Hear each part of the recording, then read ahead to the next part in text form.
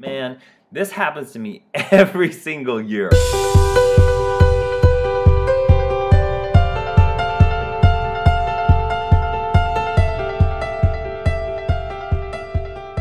Hey, my friend, it's George Carroll, and I wanted to give you five good reasons. Five of them. One, two, three, four, five. Five good reasons to come play with us January 15th to the 17th at my three day event called The Greatest Year of Your Life. Think about it this way so much of our power to create what we desire lives in our ability and our willingness to be present with our desires. The more present you are with your desires, the more you begin to emanate, the more you begin to vibrate and project that energy out into the universe, and the universe then brings back to you through the mighty law of attraction or whatever you want to call it, that brings those things to us. And so when you give yourself a specific amount of time to focus on the things that you desire, to be present with the things that you desire, you start to immediately create a momentum on having those things, on those things coming into your life. You start to summon those things into your life. One of the biggest challenges we have in our culture today is we have an influx of information. You know, it's the information age. We got information coming from every single which direction. And it's so easy to get sidetracked and distracted by all the information coming our way when you gift yourself this time, when you say, okay, I'm going to dedicate three days of the of my life of 2015 to create what I desire, because the reason why most people's lives don't change is because they're constantly focused on what already is. And when you focus on what is, you perpetuate that back into your life again and again and again and again. But in order for us to create something greater, we've got to be willing to imagine, envision something greater, something beyond what is and that's the power of creating a vision board. So you're literally going to spend three and a half hours creating your vision board, focusing on the things that you desire, focusing on the experiences that you want to have. So what is it that you want to create more of in 2015? Is it, you know, more income? Is it greater relationships? Is it true love? Is it more adventure? Is it more travel? Is it, you know, a building a business that you love that impacts and changes people's lives? You know, what is it that you would like to create more of in 2015? Really start to get clear on those things. Write those things down because when you focus on them and give them your energy consistently and you're able to be present with them consistently, you begin to emanate the energy. You begin to vibrate the energy so that those things start to come into your life. So here's a great example about three or four months ago, I started to get this sort of energetic hit from Northern California. So I opened up a Google map and I started looking at Northern California. I said, okay, what's in Northern California? And so as I scrolled the map up a little bit, I saw Portland, and Portland, Oregon just kind of blinged at me. And I was like, huh, what's in Portland? So I started researching a little bit of Portland and started looking into the city and started realizing some cool things like, you know, they ban GMOs, they don't fluoridate their waters, they don't have any sales tax. And I started to get excited about the possibility of maybe moving to Portland. The very next day, literally the very next day, I was booked for a speaking engagement, uh, five of them in the Northwest, and it ended on a Friday in Portland. And so I decided to make a long weekend out of it. I came to Portland. I felt the city. I traveled around. I vis- visited some cool monuments. You know, I went and visited a bunch of apartment complexes, and I just made the decision. I made the choice. I'm moving here. And literally within three weeks, I had signed a lease, um, and now this is where I live. I live in the sweetest part of the Northwest, or maybe even the country, according to me, um, which is Portland, Oregon. And I'm so happy I've moved here. In the last three weeks, I've met so many amazing people. I'm just exploring the city like it's nobody's business. And that's how fast that we can create but I was willing to focus on Portland. I was willing to study it. I was willing to step into it and be in the energy of it. And then quickly I was able to manifest it or create it. And that's how fast you can create too. And that's reason number one of why you need to come to this event is because the energy is moving fast. And when you give your desires your attention, when you give your desires your presence, when you give your desires your focus, you will create a faster momentum than ever before. And have you noticed that the energy is moving really fast right now? Now, if we focus on crap, we're going to create crap. But if we focus on magic, we're going to create magic. And you've probably already have been experiencing that over the last few months and maybe even longer. So that's reason number one. Reason number two is you're going to get your values fully aligned with your vision. One of the most powerful things that we can do is become aware and become conscious of the values that we've taken on in our lives and become aware of the value conflicts that we have. So if you have a value of adventure and growth and expansion, but you also have this underlying unconscious value of comfort and security, you're going to have what's called a value conflict. So, reason number two is you're going to become fully aware of the values that are currently operating your life, and more importantly, the values you need to embody on a daily basis in order to continue moving toward those visions and those targets that you have in place. So, here's a fun question that I ask my audiences is if I said, hey, meet me somewhere, we're going to go skydiving, would you say yes? Or would you say no? Well, if you said yes, let's break down the decision making process, shall we?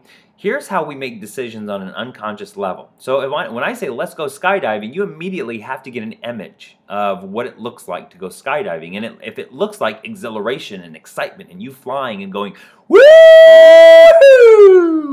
Then there's a really good chance that you're going to say yes and you're going to come skydiving with me because that image created a pleasurable feeling. And that pleasurable feeling underneath that is a value. That value is probably adventure, excitement, or exhilaration, or something of that degree.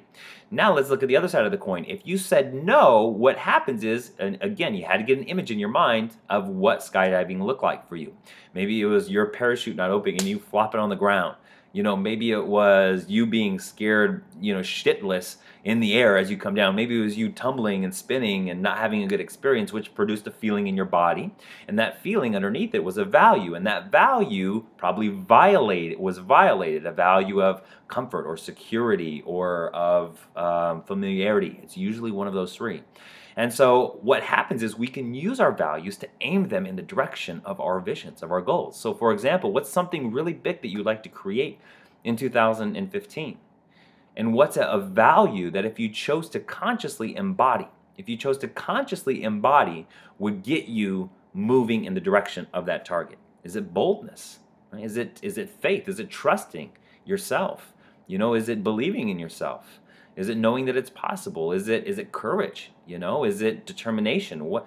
You, so when you leave on day one, just on day one alone, you're going to be fully aligned. Your visions and your targets are going to be set in place and then we're going to spend a quarter of the day aligning those specific values. I'm going to show you my examples. I have 16 values this year that are aimed toward my targets and visions. And I do this process every year, and every year my life continues to expand and grow. Last year I had two really big targets, get on TV and write a book and I hit those two targets, but I had to take on a lot of other values in order to get there, like courage and determination and persistence. And so this year, I'm going even bigger. I've got some bigger targets that I'm going to share with you at the event. And by the end of day one, you're going to leave with your values fully aligned with your vision, and we're going to start to resolve those conflicts that you might have. On day number two, and here's reason number three why you want to come, is because anytime that we choose to go bigger in our lives, and man, this happens to me every single year, and this has probably happened to you too. Anytime that we go bigger in our lives, man, those limitations, they come sneaking in, don't they? And have you ever recognized that? You choose something greater, something bigger, a bigger dream, and all of a sudden, everywhere where you're limiting yourself from having that thing starts to show up in conversations with people, in resistance, in fears. And already over the first five days, and I'll be sharing more about this at the event, over the first five days, I've had to look at face first, face first, like this. I've had to, like this, right here. I see you. I see you. I've had to look face first at these patterns that have shown up, that have been kind of hiding underneath the surface, that have come flat out in my face. And in order for me to go beyond this, to go to my visions, I have to move through this. And so I've been doing a lot of processing work and a lot of transformational work over the last few days because I decided in 2015 is going to be the greatest year of my life and any limitation or any fear or anything that's unresolved that's in the way of you having that will show up. And that's why day two is all about transformation. So, in the first session, what we're going to do is we're going to focus on transforming your relationship with money.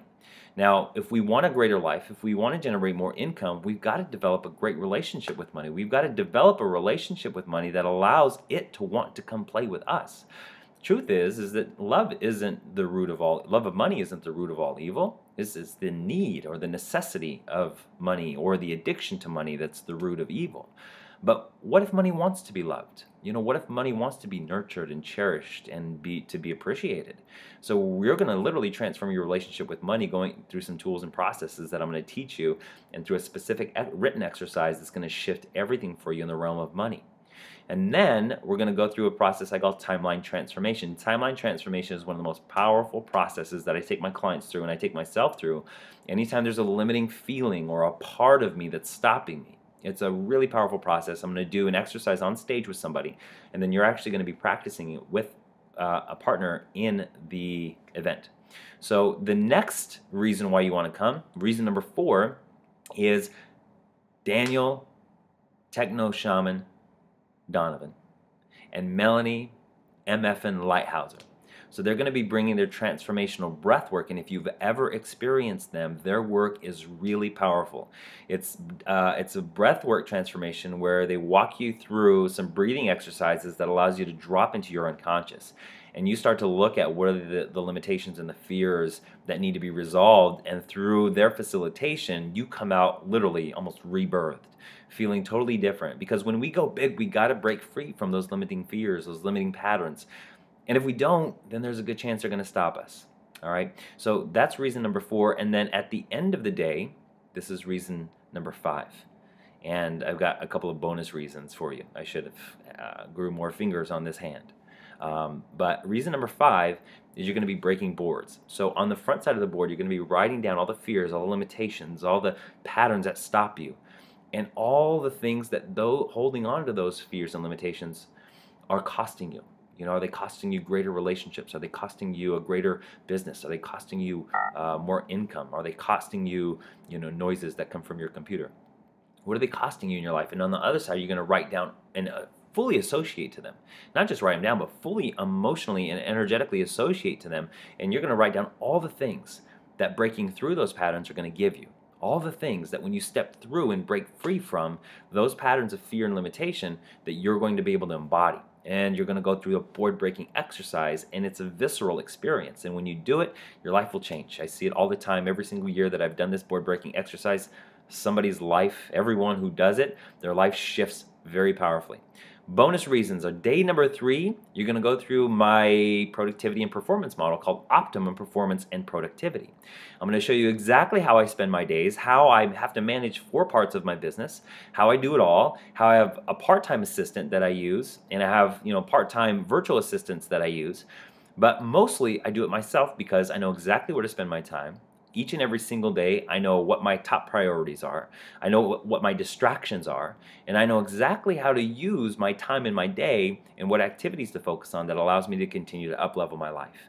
And so I'm going to teach you my uh, optimum performance and productivity model. So when you leave there, you know exactly where to spend your time. You know exactly um, how to manage your day and your weeks, and also how to be open to the magic of being flexible. So you're going to learn not only this like structured model, but also as a way to invite magic into your life as you manage your day.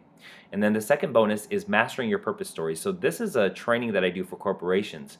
And it's an amazing process. It's a five step process I'm going to teach you. And it's called Mastering Your Purpose Story, where you're going to get on stage, you're going to get on camera, and you're going to share why you do what you do and you'll be able to use the film and the footage for marketing purposes if you own a business. You'll be able to watch yourself on camera, but not only that, you're going to be on stage and you're going to be on camera. Two of the people's greatest fears is being on camera and being on stage.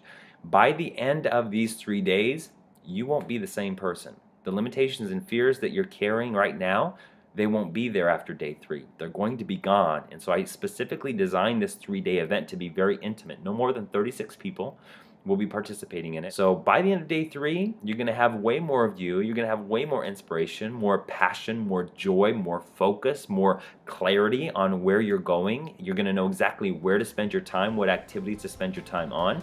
And you're gonna be unstoppable in a way that maybe you never have before. So that's my invitation. Um, we've got just a few days left. We start January 15th and the price point is super sweet. It's $495 or if you want to share it with your friends on Facebook, it's only 97 bucks for all three days. You'll leave with a completed vision board. You'll have your board that you broke through as a symbol. And you'll also have you, a greater version of you as you step into 2015. So my invitation to you is come play. I'll see you there.